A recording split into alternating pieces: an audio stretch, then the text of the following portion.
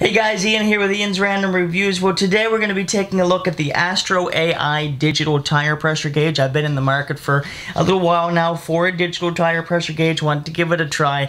Um, you know, normally just always using the manual ones, but uh, this one had lots of reviews on Amazon, so I thought I would give it uh, give it a quick uh, give it a shot anyway. So here's the box. This is how it comes in the mail. Very straightforward. Um, we'll just open the uh, the box here.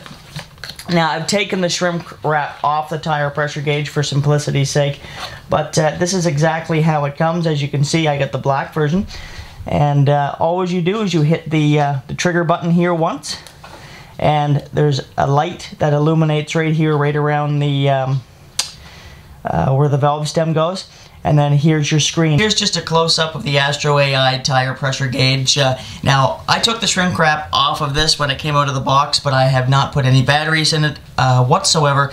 Um, I literally just hit the on button, which is this trigger button underneath where the valve stem goes. Give that a quick click. You can see um, where your valve stem goes in. It's illuminated, so if it's dark, you can uh, you can easily find your valve stem and then you have an illuminated um, screen right here. Now to change your pressure readings, so right now it's on bar, you just click this trigger button again. So it's going to go from bar to kPa to kilograms to PSI. Now, of course, if you're you're testing your, your tire pressure gauge for your vehicles or lawn tractors, etc., you're going to use PSI, um, and that's primarily what I'm going to be using. So the big test now is to take it outside and test it up against a manual um, tire pressure gauge and just see how well it works. Alright guys, so uh, I'm to try first the uh, just a normal manual um, tire pressure gauge. Um, I'm to try to get this with the phone here.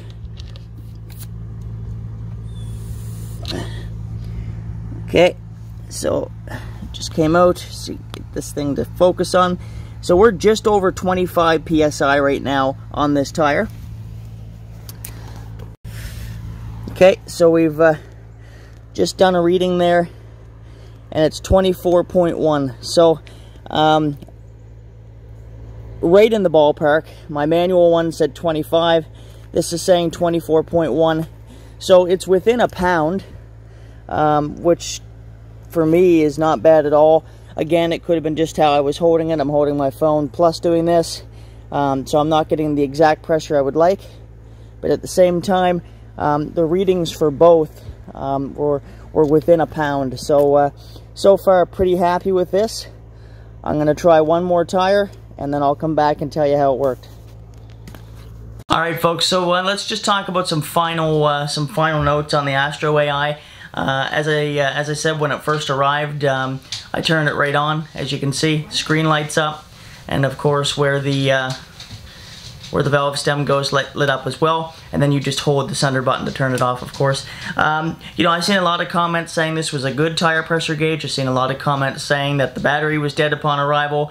Um, other people saying it wasn't accurate. Well um, after doing uh, both my front tires on my car uh, I only filmed one because I wanted to really get uh, the best representation I could. Um, so I used you know uh, using two hands to get the uh, to get the um, the reading is better than one. This was quite accurate. So um, in both applications between the manual tire pressure gauge and then of course the Astro AI, it was within one pound of difference. So um, in the in the second test I did, the um, the manual tire pressure gauge was reading just below 30 psi and this was reading 29.1 uh, same on the other side. It was within one pound of difference. So uh, when it comes to that, I'm very happy with that. Uh, as I said, I like the uh, the lights on this. I like the uh, the digital applications, and of course, there's different uh, reading modes on there. Of course, um, KPA, KG, PSI, whatever you need. Um, so you know, I haven't really put this to the test yet because it just arrived today. But um, you know, after uh, after just testing a couple of tires, it seems to work uh, quite nice. Uh, it'll be interesting to see what it looks like at night with the lights, but uh, that's not uh, really the real reason I got it. I just wanted to uh, to see how it held up against the the manual um, tire pressure gauge and so far so good. So I am going to recommend this product. Um, again, always use your discretion when uh, making Amazon purchases or purchasing anything from anywhere. But uh, so far so good. I'm, I'm very happy with it. It's working and uh, it's going to be a nice little uh, addition to my car when I put it in my dash.